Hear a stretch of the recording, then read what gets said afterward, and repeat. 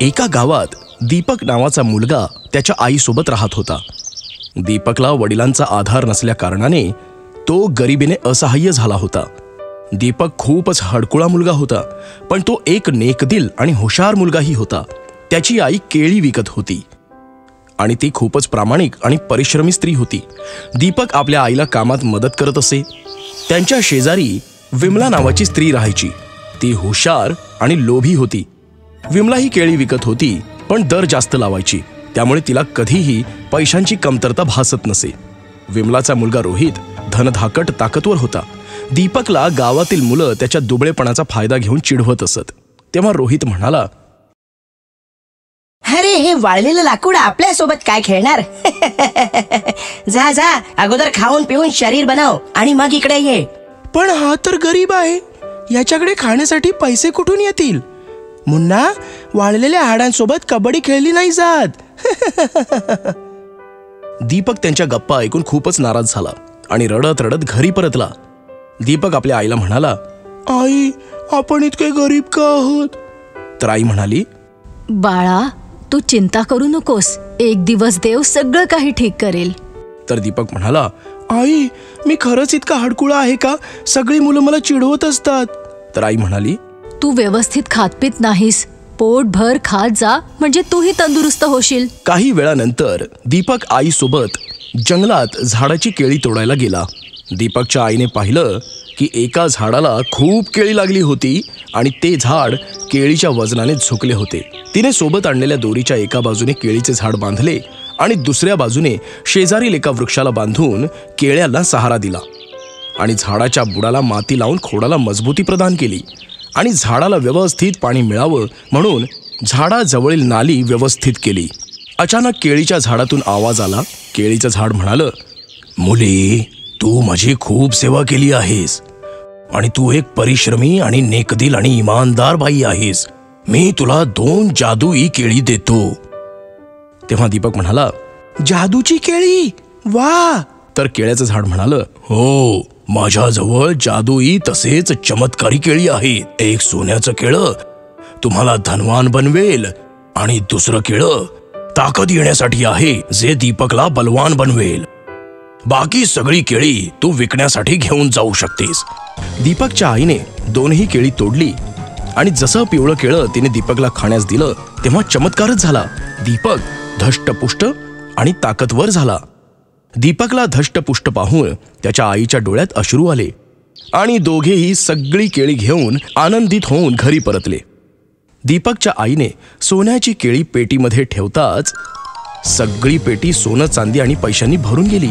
हे पाहून दोघांचा आनंद गगनात मावेनासा झाला आणि त्यांची गरिबी छू मंतर झाली. दुसऱ्या दिवशी दीपक जेव्हा खेळाच्या मैदानावर गेला तेव्हा धष्टपुष्ट दीपकला पाहून सर्वांना धक्काच बसला. सगळी मुलं दीपक सोबत खेळण्यास उत्सुक होती. तेव्हा एक मुलगा म्हणाला ये ना दीपक आमच्या बरोबर खेळ. आपण दीपकला आपल्या टीमचा कॅप्टन बनवूया. हे ऐकून दीपकला खूप आनंद झाला आणि त्यांच्याबरोबर तो खेळू लागला.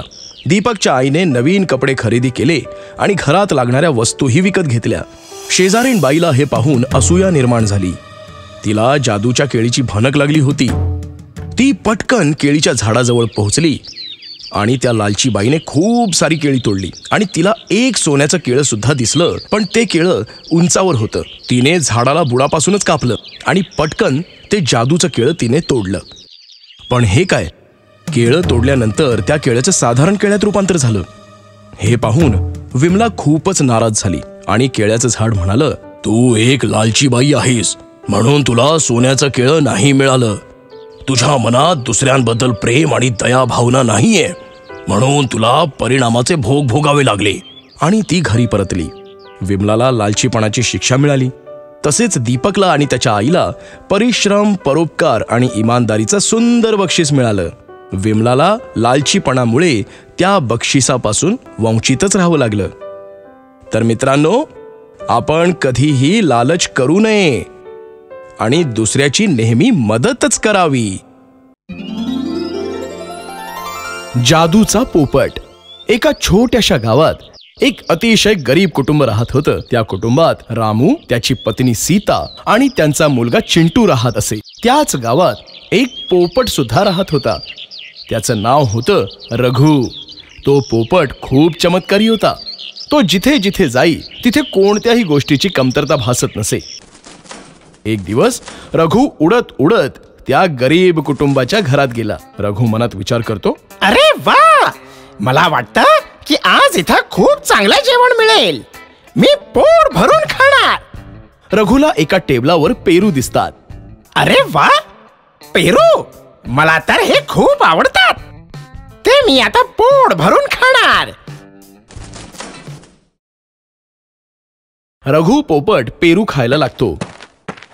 तेवढ्यात सीता रघुला पेरू खाताना पाहते. तिला खूप राग येतो आणि ती त्याला तिथून हाकलून लावते. जा इथून. माहीत नाही कुठून कुठून येतात. मी तर वैतागून गेले. सीताने हाकलावून दिल्यावर रघु शांतपणे एका कोपऱ्यात बसून राहतो. काही दिवसांनंतर त्या कुटुंबाची परिस्थिती सुधारते. एक दिवस रामू आणि सीता जेवण करताना बोलत असतात. आजकाल आपली खूप चांगली प्रगती होतीये काम देखील खूप चांगलं चाललंय. रामू म्हणतो त्यावर सीता म्हणते खरं सांगताय परमेश्वराची अशीच कृपा असली पाहिजे आपल्यावर. चिंटू बाबांना म्हणतो पप्पा पप्पा मला एक छानशी खेळणी घेऊन द्या ना. माझ्या सर्व मित्रांकडे खेळणी आहेत. त्यावर रामू म्हणतो हो बाळा मी नक्कीच तुला खेळणी आणून देईन. आपण सगळे किती आनंदात आहोत माझ्या कुटुंबाला कुणाची नजर ना लागो.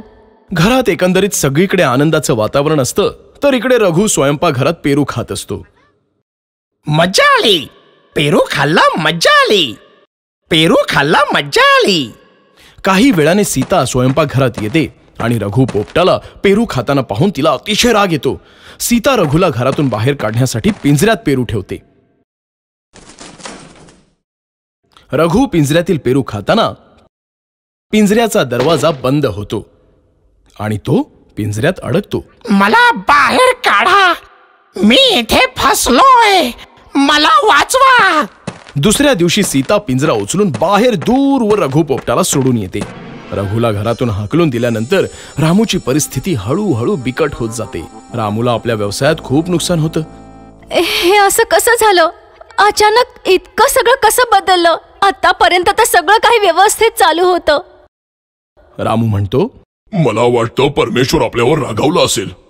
चिंटू म्हणतो आता मला खेळणी नाही भेटणार. आणि रडत रडतच घराबाहेर जातो. पुन्हा काही दिवसांनंतर रघु पोपट रामूच्या घरी येतो. मी पुन्हा आलो. मी पुन्हा घरी आलो. आता मी खूप पेरू खाणार. रघु सरळ स्वयंपाकघरात जातो आणि पेरू खायला लागतो. थोड्या वेळात सीता स्वयंपाकघरात येते. आणि रघु पोपटाला बघून म्हणते एक तर घरात इतक्या अडचणी चालू आहेत. त्यात हा पोपट मला त्रास देतोय. सीता रघुला तिथून हाकलून देते. रघु उडत उडत एका कोपऱ्यात लपून बसतो. पुन्हा काही दिवसांनंतर रामूच्या घराची परिस्थिती सुधारते. त्याचा व्यवसायही चांगला चालू लागतो. एके रात्री जेव्हा रघु पोपट पेरू खात असतो तेव्हा पिंजऱ्यात अडकून जातो. या लोकांची इच्छा तरी काय आहे? एका पोपटाला शांतपणे पेरू देखील खाऊ देत नाही. मी काय चोरी करतोय का इथे? बस पेरूच तर खातोय ना. तितक्यात रामू स्वयंपाकघरात येतो आणि पिंजऱ्यातील पोपटाला पाहून त्याला बाहेर सोडून देतो. हा पोपट पण किती हट्टी आहे. परत परत घरात येतोय. जसं रामूने रघु पोपटाला सोडून दिलं तसं इकडे दुसऱ्या दिवसापासून त्यांच्या घराची परिस्थिती बिकट होऊ लागते.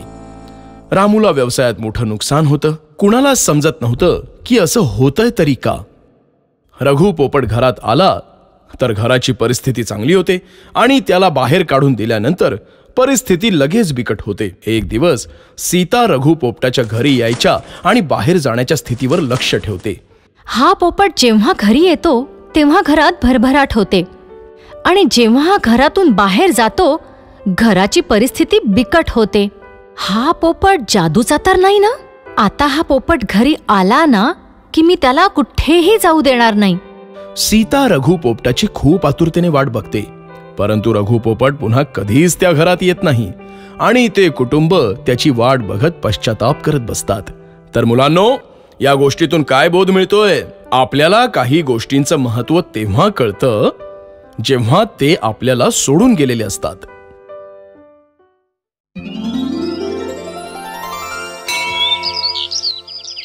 चमत्कारी साप. खूप दिवसांपूर्वीची गोष्ट आहे. एका खेडेगावात एक शेतकरी राहत होता. मागच्या तीन वर्षांपासून त्या खेडेगावात दुष्काळ पडला होता.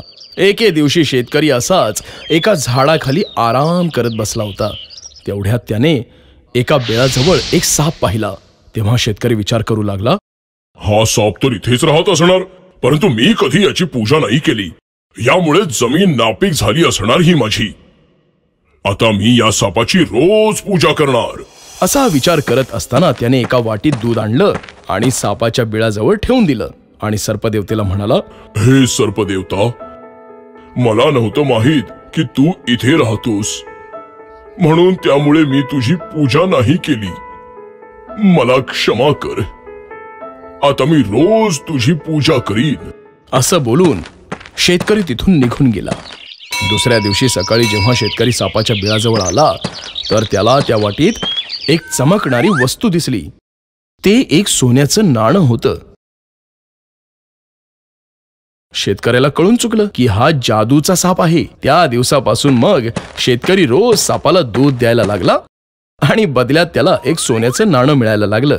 एके दिवशी शेतकऱ्याला काही कामानिमित्त बाहेर गावी जायचं असल्यामुळे त्याने आपल्या मुलाला जवळ बोलावून सांगितलं हे बघ बाळा मी काही दिवसांसाठी बाहेर गावी जातोय.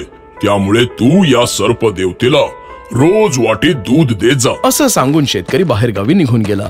इकडे त्याच्या मुलाने दूध घेतलं आणि सापाच्या बिळाजवळ ठेवलं आणि तो तिथून निघून गेला. दुसऱ्या दिवशी सकाळी जेव्हा शेतकऱ्याचा मुलगा त्या सापाच्या बिळाजवळ आला तर त्याने पाहिलं की त्याला त्या वाटीमध्ये एक सोन्याचं नाणं मिळालं. मग तो विचार करू लागला. हा साप तर कंजूस आहे. याच्या बिळात तर भरपूर सोन्याची नाणी असतील. पण आपल्याला हा रोज एकच नाणं देतो. मी जर याला मारून टाकलं तर बिळातली सर्व सोन्याची नाणी माझी होतील. शेतकऱ्याच्या मुलाने दुसऱ्या दिवशी सापाला दूध देताना हातात एक लाकडाची काठी सुद्धा सोबत नेली होती. सापाला दूध दिल्यानंतर सापाच्या डोक्यावर सपा सपा वार केले पण सापाला राग आला. आणि तो त्या शेतकऱ्याच्या मुलाच्या पायाला चावला. शेतकऱ्याचा मुलगा जखमी अवस्थेत तिथून पळून गेला आणि साप देखील जखमी अवस्थेत असल्याने बिळात निघून गेला. शेतकऱ्याच्या पत्नीने तिच्या मुलाचा इलाज केला.